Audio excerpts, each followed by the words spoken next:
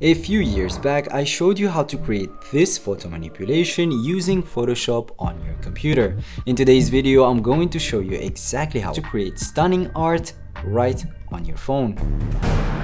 To get started, we're going to use the Adobe Express app. Before we dive in, make sure you download all the assets you need to your phone. I'll drop a link to the ones I'm using today so you can practice along. Once you've launched Adobe Express, tap on the plus sign. To create a document, you can choose from the suggested sizes or go with a custom option. I'm going with 1080 by 1450. Tap on the plus sign, go to Gallery, choose Photos, and browse through your albums to find the assets. You can import all the images at once, but it's best to start with the image that's going to be the furthest from our view. In this case, it's the night sky. Now that you have your first image on the canvas, you can resize it and move it around. Tap the plus button again to import more images this time, let's bring in the image of the moon. I want to remove the sky from this image and keep just the moon. To do that, tap on remove background and as you can see the moon has been automatically selected but the edges around the dark area look a bit rough and don't blend that well with the sky behind it. I'm going to move it first then go to erase, tap on quick select and change the mode to circle brush, adjust the eraser brush size to 100, set the hardness to 1 and opacity to around 50%. Then slowly start erasing around the dark area of the moon to blend it in with the sky. Now I got a lot of comments on the original videos saying that you're not supposed to see the stars around this area because they should be blocked by the moon. So I will show you how to edit them out later in the video. Once you're done erasing, hit confirm. Let's go to adjust. Here I want to tweak the colors of the moon to make it match the background. I'm going to bring the contrast down a little decrease the saturation and lower the warmth. Hit confirm once you're satisfied with the look. Let's deselect the image, tap the plus sign again to import more assets. This time let's bring in the image of the mountains, increase its size to fill the frame and move it down a bit to fit the composition. The next thing I want to do is remove the background.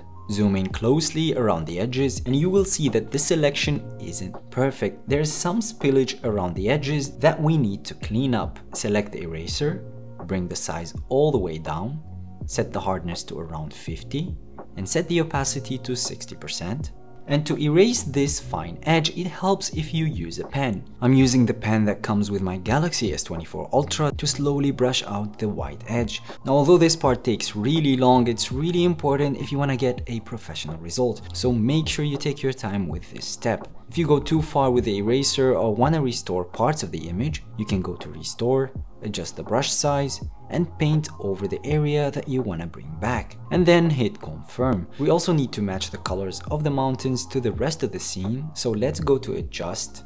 The mountains are meant to appear very far in the distance, so we need to give them a slightly faded look. Bring the contrast, highlights and shadows down, and reduce the warmth to match the background and once you're done, hit confirm. By the way, you can also tap here to reveal all the layers in your project. This can be very useful if you want to change their order or easily select certain objects. Let's tap on the plus sign again. For the foreground, I want to use this image of the field. First, let's get rid of the sheep using the remove object tool, change the brush size according to the object you want to remove, and simply paint over it. And you can erase multiple objects at once. Hit remove, give it some time to process, and Adobe Express will use generative AI to give you three options to choose from. I'm gonna go with the first one, and just like that, the sheep are gone. Next, I wanna rotate the image and place it at the bottom right here, scale it up, I want to remove the sky, so let's go ahead and tap on remove background. And just like that, the background has been automatically removed. You can adjust the mask by removing or adding certain areas. For example, I want to get rid of this hill in the distance right here. So let's go ahead and choose erase. Make sure it's set to circle brush. Bring the size down to 30 Set the opacity somewhere around 50%, the hardness down to around 20, and simply use the brush to erase this part right here. And just like we did earlier with the mountains, you can use a smaller brush to refine the edges and have a cleaner looking mask. Once you're satisfied with the look, you can go ahead and adjust the colors of this layer Compared to the rest of the image, it looks too bright, so let's go ahead and bring that down. Decrease the shadows and the saturation. We can bring the warmth down to get a slight blue tint since that's the dominating look in our scene. Tap confirm Next, let's import the image of the Jeep. We have three cars in the image, but I want to use this one, so I'm gonna place it in the center, go to remove background. Now all the cars have been detected as a subject in the image, so let's go to the erase tool, bring the opacity all the way up, increase the size, and simply remove the other car from the image. I want to readjust the position of the car a little bit here I think this looks pretty good. Now one of the reasons the car looks like it doesn't belong to the scene is that it's not casting any shadows. So let's go to the erase tool, select restore, set the size around 67, bring the hardness all the way down, and bring the opacity down to around 10 then simply start painting over the bottom here to bring back the shadows from the original image. Make sure you don't overdo it so it looks subtle and blends well with the field in the background. Once you're done with that, tap confirm. I think it looks pretty good and as you can see the whole scene is slowly coming together. To improve this even further, let's select the car again, go to adjust, let's give it a bit more contrast, increase the brightness, increase the shadows and bring the saturation down. We can also give it a bit of a warmer tint. I think this looks pretty good, so let's tap confirm. Next, I want to bring in the main subject, which is the guy that we're going to place on top of the car. Let's remove the background. Let's move him over here. Make sure the scale makes sense relative to the car.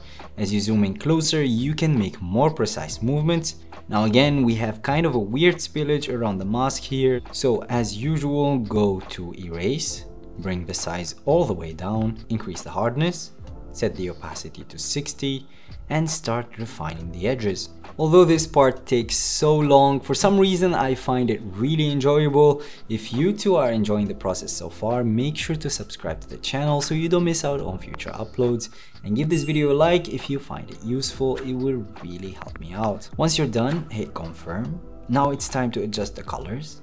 Let's bring the contrast down to around 20 the brightness up to around 13 and bring down the shadows.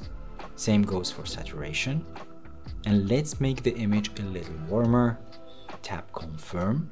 I've also included a link to the headlights image in the assets list. Let's bring that over. I'm going to remove one of the lights and move the layer over here. To make a copy, scroll to the right, tap on more, duplicate and place the copy on top the second headlight. Now that looks pretty good, but I think it's always a nice touch to add some moving elements to the scene. So let's bring the image of a shooting star. To blend it better with the background, go to adjust, bring the brightness and contrast all the way down. Let's give it a bit more color and again match the warmth to that of the scene. Finally go to opacity and let's bring that down to around 75% and confirm. I want to create a copy of the same shooting star so let's go to more, duplicate and move the copy all the way over here. Make it a bit smaller Perfect. Now although the scene looks pretty good already, I want to make it even more dramatic by adding atmosphere and doing some color grading. And to do that, I'm gonna use a different app. So let's go ahead and export the image first by tapping over here, then tapping download. Once the image is stored in your gallery, open the Adobe Lightroom app. This app is also a part of your Creative Cloud membership. If you don't have one, you can actually subscribe to the Lightroom app for less than $2 a month. Once you launch Lightroom, tap over here to import an image. Choose the photo that you just exported from Adobe Express, tap on add, then tap on the image to start editing. Now as I mentioned earlier, we're not supposed to see the stars on top of the moon here. To remove them, let's select the healing tool, Decrease the brush size and simply start painting over the stars to remove them. Make sure you clean up the whole round shaped area around the moon. So now that we got that out of the way, let's focus on adding some mist around the horizon to make the scene a bit more dramatic. To do that, go to masking, tap the plus sign to add a new mask. Let's go with brush, You can use these three options here to customize the brush, make sure the feather is set to a maximum, you can set the opacity to around 50% and start brushing around this area. Don't worry about going over certain objects that are meant to be in front, I'm going to show you how to fix that in just a minute. Once you're done painting, let's go to light and adjust some settings. This will affect the masked area only. To create a realistic mist, start by bringing the contrast down, increase the blacks, now that you can see what it looks like, you can also add more mist to other areas of the image if you want. I'm gonna undo that, let's go to effects and bring the dehaze value down. This will make the mist look much more realistic. Now to bring the car in front of the mist, select the mask. And do you see this little plus and minus icon right here? Tap on it and choose subtract from mask then go to select subject. This will automatically detect the subject in your scene and magically subtract it from the mask. You can also use the brush for a more manual editing. Let's go ahead and add another mask. Choose the brush. This time paint over the shadows below the car. Go to light. Let's make this look a bit darker by bringing down the exposure, the shadows and the blacks. Now select the mask and again go to subtract from mask Select subject and just like that the shadows are only visible under the car. Let's tap confirm. Another thing I just noticed is that the colors of the shadows look a bit different than the main foreground, so I'm going to spend some more time adjusting the colors to match the rest of the field. Next, let's create a third mask, choose linear gradient, and let's create a gradient around the bottom here the more you stretch it, the more feather you're going to have. I want to darken the foreground, so let's bring down the exposure, shadows, and highlights.